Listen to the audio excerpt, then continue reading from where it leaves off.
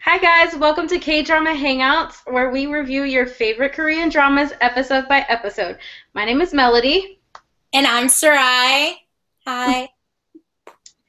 Alright, so today we're going to be finishing up the final two episodes of Cheese in the Trap, episode 15 and 16. If you missed our last review of episodes 13 and 14, be sure and check out the link below to catch up with us, okay?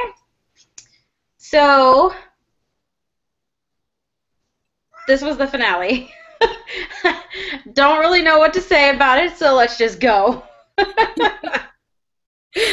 there is too much to say about what happened.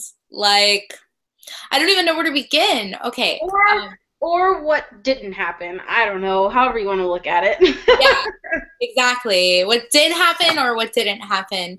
I'm like,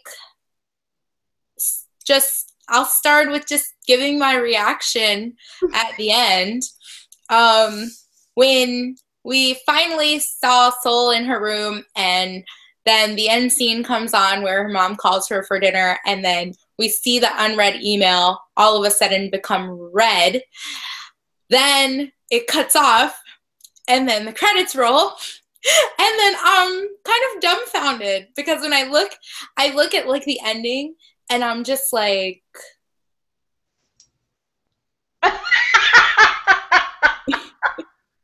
Did that just happen? Exactly. Me, exactly. I'm sitting here like, where's the rest? Where did it go? Like, I couldn't even breathe for a second. I'm like, uh? yeah. I was just, I stood there for a good five minutes even after the credits finished, mm-hmm. still wondering if there was like, you know how when you watch the Marvel? Yes. Maybe there'll be a tag at the end of the credits. Thinking that there's gonna be some little ending yes. scene or you know. mm-hmm. yeah, I I was I was definitely one of those fans who was surprised by the ending even though I already went into these last two episodes expecting there to be a rushed kind of ending, yeah. I expected that already. I figured, but I was hoping that there would be a complete end, not a okay, think about what you think's gonna happen, imagine it in your brain kind of ending, you know? Uh, it was kind of disappointing and unsatisfying after all the emotions that they put me through this whole show. Too many emotions from up to down, from first lead to second lead. Like, I was going crazy this whole show. And then to leave me stranded, I felt like I was being broken up by email. like literally. Yeah, I was I went through and was reading some of the comments on DramaFever like on the the endings and everything and some people were like, "Oh, I love this ending. I love how it's an um, an open ending. Like, you know, I love open ending endings." And I'm like, "You know, to play devil's advocate, okay? I'm cool with open ending endings too. Like I like I'm fine with twist ending, plot twist endings, and um, or you know just open-ended endings. Like you kind of finish it for yourself, but it was it was too open-ended. Like an open, a perfectly fine open ending, which I wish would have happened, is they at least stop in front of each other on the street. Thank that you. Oh that oh my gosh. I needed her to. I needed them to see each other again, face to face. Yes. see each other. Okay, like this ending was just too open ended. Like, or I don't. I just like you remember the scene where they're walking down the street and they pass each other. Completely That's when each other. I thought oh, they're gonna meet each other again, you know? Oh, they're gonna see, she's gonna look back, he's gonna look back, they're gonna stop in the middle of the street and they're gonna see each other. If they get And then cut. Like that would have yeah, been fine. Exactly. If they would have been fine. Me, I would have been fine too. Like I would have been okay. but they didn't give me that, and I was kind of like sad. I was just like, really?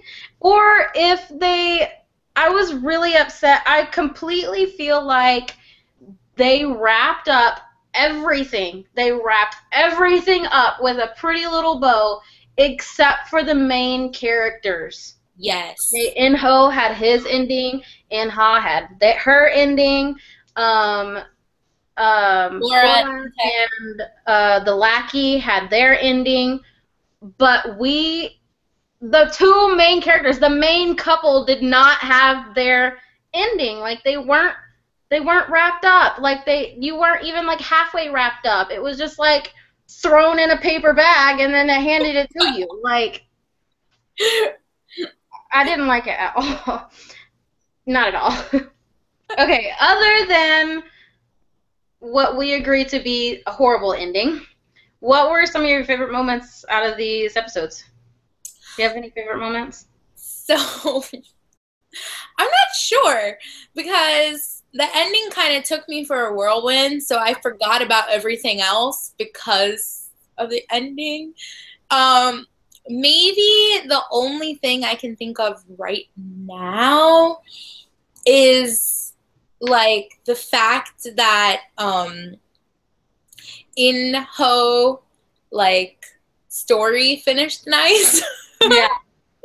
and Bora and Eun-taek finally opened that like clothing shop and they're like together still. Yeah. I guess their closings were really like helpful, you know, and and good and I like them. And I'm so glad Inho got to at least um play. But speaking of that, actually, um, I know we're talking about good stuff, but I have to say this, okay? First of all, Seol was supposed to go to his concourse, okay? Where the heck was she? Thank you. Oh my god.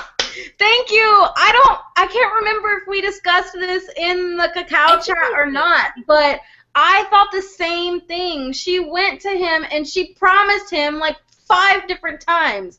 I promised you I'm gonna cheer you on. I'm still gonna be there. I'm gonna keep my promise. Da da da da. And he starts playing and he looks out in the audience and he sees, you know, his old teacher, his current teacher, his sister, and his sister's boyfriend or whoever he is at that point.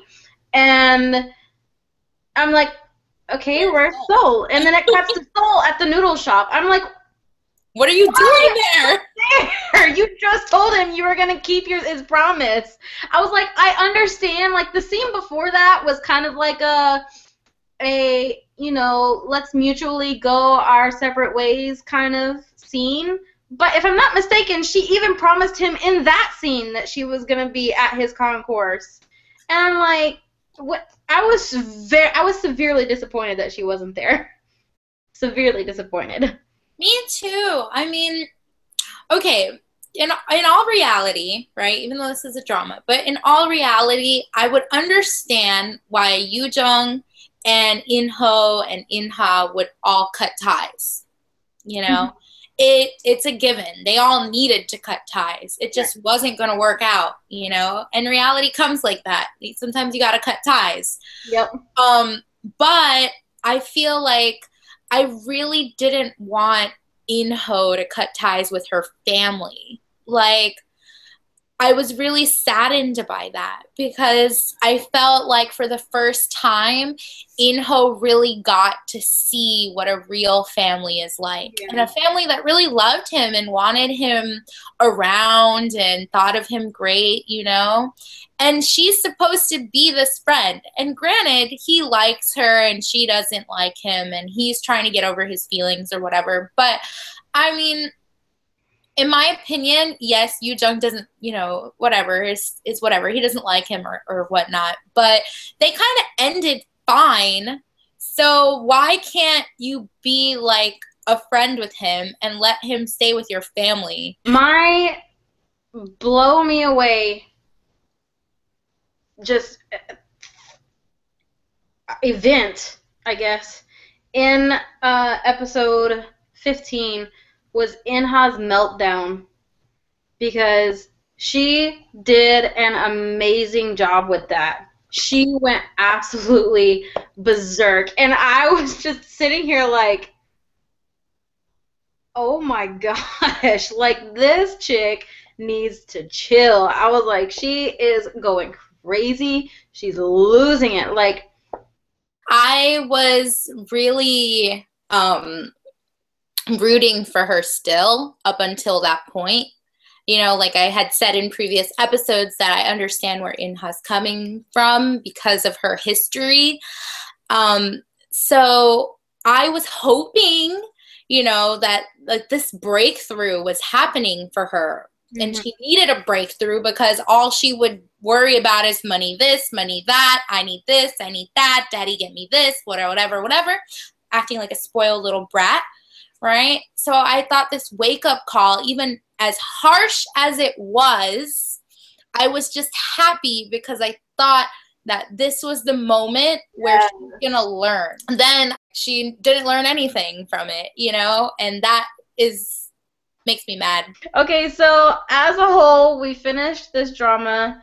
Um, do you have the whole drama a whole heart, a half heart, or no heart? So I started this drama with a whole heart because of the webtoon, right? And I'm one of those fans who I was reading the webtoon and I'm still reading the webtoon and the webtoon hasn't finished yet. So um, we don't know what's going to happen in the webtoon. But as far as like now the drama ending and the drama has taken a detour from the webtoon completely in another direction. um, this makes me give the drama a half heart. Um, I still love the drama and I'm still going to give it um, some points because of the fact that from episode one to about episode 15, you kept me in, you kept me focused. I was everywhere and nowhere all at the same time. I was first lead, second lead, blah, blah, blah. You know, I was going crazy and I loved it and I loved how it captured me. But the ending really hurt me. And for me, endings are very important because it's the last impression I take with me. So that's why I knock it to a half heart. Mm-hmm. I can't remember what I gave this. I think I gave it a whole heart. Um, I am also gonna give it a half heart, um, mostly because the ending. it's it's all because of the ending.